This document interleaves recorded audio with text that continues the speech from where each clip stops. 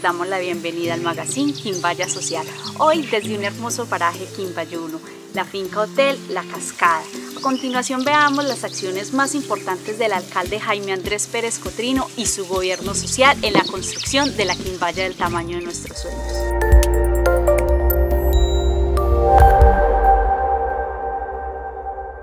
Por medio de una acción de gracias, el gobierno social conmemoró el 18 aniversario del terremoto del eje cafetero.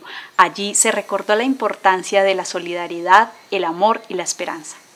25 de enero de 1999. Dios y la naturaleza nos pusieron la difícil tarea de mostrarle al mundo entero que la pujanza, el civismo y el arraigo de esta tierra es lo que nos corre en nuestras venas. Hoy ya hace 18 años la trágica noticia que recorría el mundo era que Armenia y el Quindío se encontraba destruido. Mientras tanto, miles de quindianos luchábamos por mantener en alto nuestra fe y nuestra esperanza. Habían transcurrido escasas horas cuando como Juan Villano se vicia, la naturaleza nos envió una fatídica réplica que trataba de ahogar nuestras esperanzas. Esta tuvo mayor repercusión que el temblor inicial. Derrumbó sobre miles de hombres, mujeres, niños, ancianos, todo lo que a su paso estuviera. Pero hoy nos recuperamos de la tragedia. Hoy nos reunimos lo que somos, gente pujante. El Quindío se levantó, las casas volvieron a edificarse, los niños volvieron a sus escuelas. Lo que en su momento fue sitio de visita de cientos de voluntarios se ha convertido en un magnífico lugar de miles de visitantes turísticos. Nos hemos convertido en territorio de paz, una tierra donde el que viene a visitarnos no se quiere ir. Hoy empezamos avanzando a construir la Quimbaya incluyente, una sociedad justa. Hoy, 18 años después, estamos construyendo la Quimbaya del tamaño de nuestros sueños y el Quindigo que soñamos. Muchas gracias a todos. Bueno, hoy realizamos una conmemoración importantísima hoy 18 años de un hecho eh, trascendental donde miles de voluntarios llegaron a colaborarnos desde diferentes lugares del mundo y hoy tenemos un territorio de paz, un territorio donde la gente viene a ver sus paisajes. Hoy hay voluntarios pero que quieren conocer el paisaje cultural cafetero, hoy hay voluntarios que quieren trabajar por el desarrollo de un departamento del Quindío. Eh, resurgimos de las cenizas, hoy estoy contento de ver un municipio pujante, de su gente, de su población, hoy tenemos que trabajar como un gobierno social y transparente. Hoy queremos hacer un cambio y yo pienso que en estos pequeños hechos, estos hechos que manejaron o nos dieron un paso en la historia y hoy logramos un desarrollo en todo el departamento del municipio de Quimbaya. Como quimbayuno y como quindiano realmente nos duele mucho estos sucesos que ocurrieron en 1999 que eh, fue algo muy trágico para nuestro departamento pero pienso que fue un renacer también para en nuestro departamento y la ciudad Milagro de Armenia. Nosotros como Asamblea Departamental nos unimos a las víctimas que trascendieron en este suceso eh, tan trágico y tan doloroso para todo el departamento del Quindío y para sus familias. Un fuerte abrazo y bendiciones de parte de la Asamblea Departamental y de César Londoño, diputado.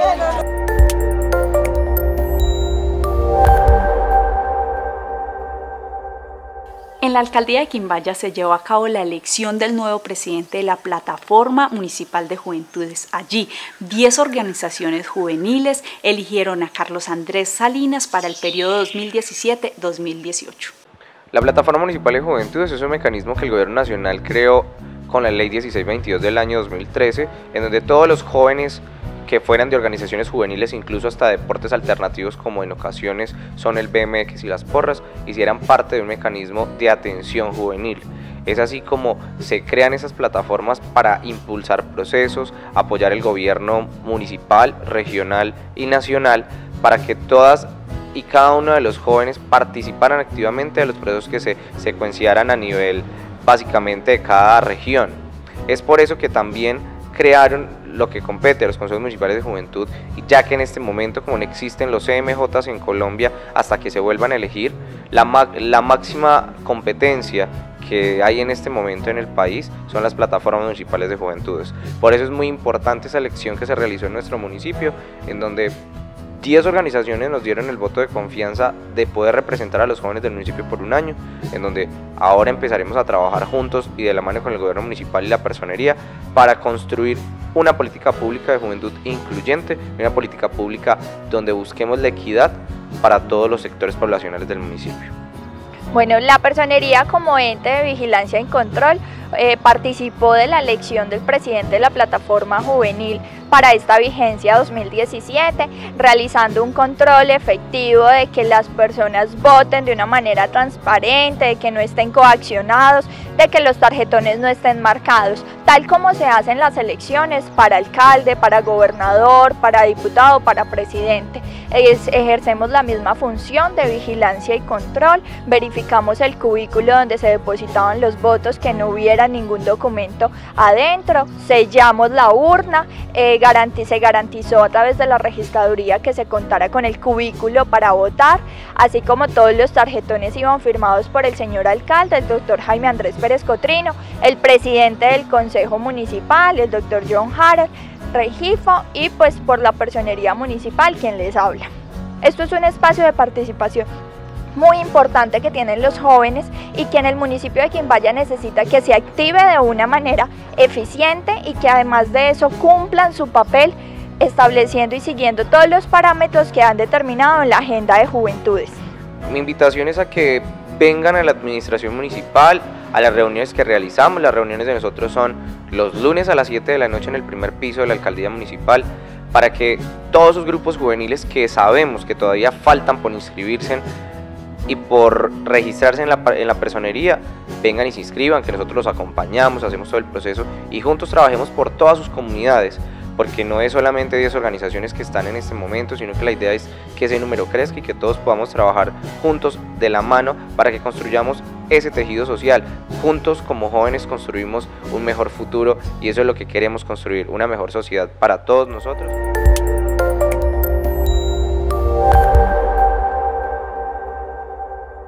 Con el fin de brindar espacios de diversión y deporte, la Administración Municipal realiza la construcción de un gimnasio y juegos deportivos en el barrio Villa Laura. Veamos. Bueno, sí, eh, resulta que en este momento se están ejecutando obras, eh, una inversión para, para el sector del Villa Laura, en el cual se contempla la construcción del salón comunal, eh, una obra importante que venía requiriendo la comunidad desde hace un tiempo ya atrás, eh, se está estableciendo con el fin de que tenga un área apropiada para ellos realizar sus actividades, sus diversas actividades sociales y, comunitarias. Eh, de igual manera va a tener allí pues un área de baños, un camerino, puesto que queda aledaño a la zona deportiva del barrio. de igual manera hay una inversión en la parte deportiva que tiene que ver con el polideportivo en la demarcación, en el cambio de los arcos de microfútbol, de baloncesto y pues tomó toda la pintura de piso que, requiere para este tipo de escenario, el cual pues la juventud de este sector pues se va a ver beneficiado. De igual manera se está adicionando al proyecto eh, una parte de juegos infantiles para que pues, los niños, los más pequeños, pues también se vean beneficiados de este proyecto. Aledaño a esto, pues hoy en día se, eh, se está dando mucha importancia a la parte de, del ejercicio y en ese caso se está eh, diversificando con un gimnasio eh, a cielos abiertos, el cual va a contar pues con un número de, elementos para que las personas, los jóvenes o los adultos puedan disfrutar también y eh, realizar allí sus, ejercicios diversos para que compaginen como con la diversidad de esta área que se está mejorando. Es una inversión aproximadamente de 203 millones que gracias a la gestión de nuestro alcalde eh, se, viene ejecutando a través de un proyecto de, con la gobernación del Quindío, para lo cual estamos pues muy agradecidos por su acompañamiento y prestos pues como para el beneficio de toda la comunidad. Eh, el llamado eh, es que siempre cuiden, que dejen todos los elementos en, en, correctas condiciones, que su uso sea el adecuado, que no hagamos allí vandalismo, que si vemos a otra persona ajena haciendo cosas eh, no deseadas con los elementos que están aquí, pues que hagamos el llamado de atención o llamemos a las autoridades para que cuidemos, porque pues son inversiones importantes que finalmente terminan beneficiando a la comunidad y no queremos que tengamos aquí el día de, mañana, dos, tres meses o dentro de un año, eh, un escenario acabado y, y pues que lo hacemos es con todo el cariño y con todo el afecto desde la administración municipal.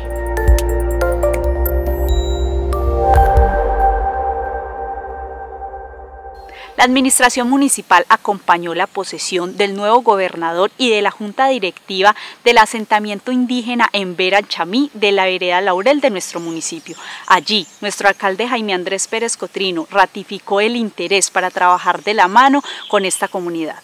Hoy realizamos la elección de la Junta Directiva con su debida posesión como tal del gobernador indígena y de toda eh, su secretario, el vicegobernador. Hoy creemos en la democracia participativa, en un municipio incluyente, un municipio que le da la participación y la importancia necesaria a la comunidad Verachamí de la vereda del Laurel. Hoy le vamos a dar un trabajo constante de dedicación, vamos a hacer una inversión para que ellos trabajen la artesanía, para que trabajen toda esa idiosincrasia y esa cultura que tienen. Vamos a trabajar por la inclusión y ya empezamos a construir la quimbaya al tamaño de nuestros sueños.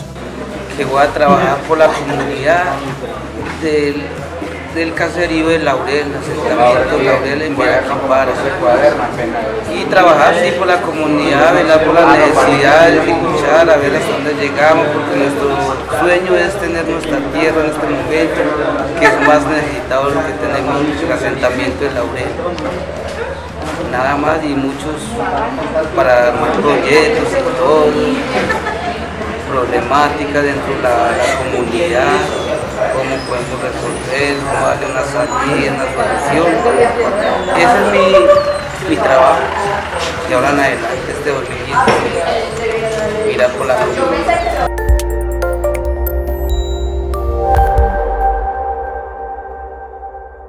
La gerente del Hospital Sagrado Corazón de Jesús, Diana Marcela Cardona, y el coordinador de la Oficina Municipal de Gestión de Riesgos y Desastres nos cuentan las razones por las cuales se pretende talar las palmas que se encuentran a la entrada del hospital. E invitamos a todos aquellos expertos que conozcan otro tipo de solución que se acerquen a la administración municipal y nos la socialicen. Pues desde hace varios años, desde hace seis años aproximadamente, se ha, tratado de salvarle la, vida pues a Las Palmas. Cuando estaba el gerente anterior, él le hizo como un tratamiento para no tenerlas que tumbar.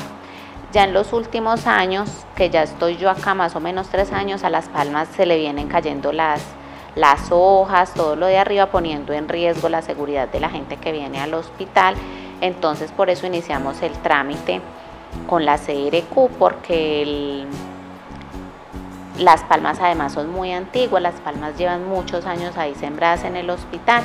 La CRQ hizo una visita y dijo en este, en este informe que, las palmas que se encuentran en zona verde del parqueadero representan riesgo por volcamiento o desprendimiento de partes serias.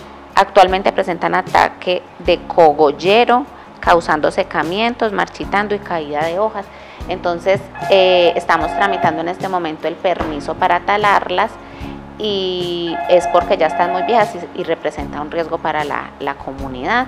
De todas maneras, si alguien en la comunidad sabe alguna forma, algún remedio para salvarle la vida, pues que se comuniquen con nosotros, que vengan y nos visiten y miramos qué se puede hacer, pero igual la CRQ también dice que, que están ya demasiado viejas. Bueno, en el hospital tenemos aproximadamente unas 12 palmas, 15 palmas, que tienen aproximadamente unos 40 años de edad. Hemos tenido desprendimientos de sus ramas, eh, tenemos varias palmas sin capa vegetal, eh, ya se han perdido aproximadamente unos dos ah, permisos de la CRQ, tenemos ahora el tercero. Lo que queremos es talar estas palmas por el tiempo que tienen ahí. Eh, posiblemente hay un riesgo de caída de algunas palmas, entonces es lo que queremos hacer por el riesgo que tenemos de caída. Eh, como todos saben, llegan muchas personas a hacer la fila, a pedir una cita y se hacen debajo de estas palmas. El riesgo de caída es mucho ante la comunidad. Llega a suceder una catástrofe de estas, llega a caer una palma, eh, nos va a tocar eh, pagar el daño a todos los contribuyentes del municipio de Quimbaya. Si alguna persona sabe cómo tratar estas palmas para que no sean taladas, lo invitamos a que se acerque aquí a la alcaldía municipal, a la oficina de gobierno, gestión del riesgo y desastres, y así eh, podemos evitar también la tala de, de las palmas.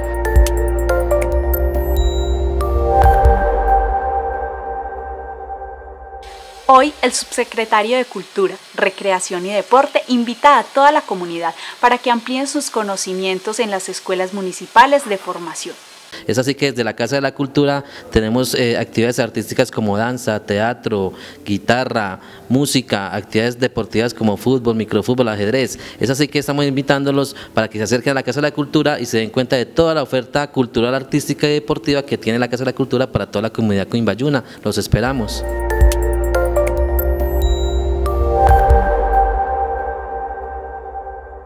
En nuestra sección Orgullo Quimbayuno, la invitada es doña Delia Ospina Pineda, una quimbayuna dedicada a promover la identidad de nuestro municipio. Veamos. Mi papá eh, llegó muy joven acá, entonces eh, se organizó aquí de farmacéutica con el doctor Medina, uno de los primeros doctores de aquí de Quimbaya.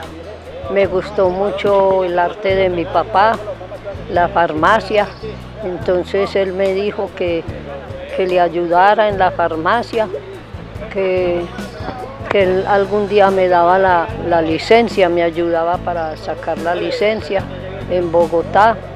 Entonces seguí con él y estudiando y me formé aquí. Yo me formé en familia, papá y mamá, hermanos. Eh, los hermanos fueron varios, hermanas, mi mamá fue de la primera costurera de Quimbaya.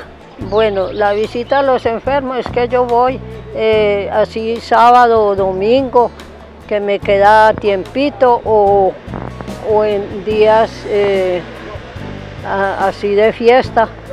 Me organizo y, me voy con otra compañera o sola.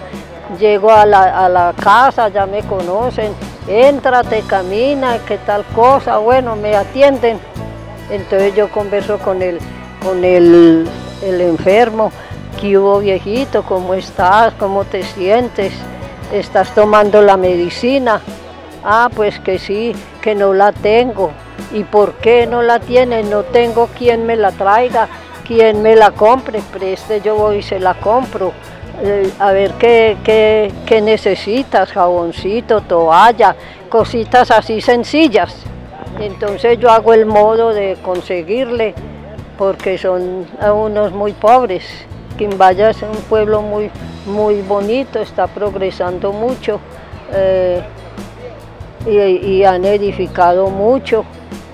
Yo los invito al 7, al 8, vengan que es de luces y, faroles, que es una fiesta tradicional, que, que eso es muy bonito, viene mucho turista, eh, tiene mucha, mucha fama en muchas partes.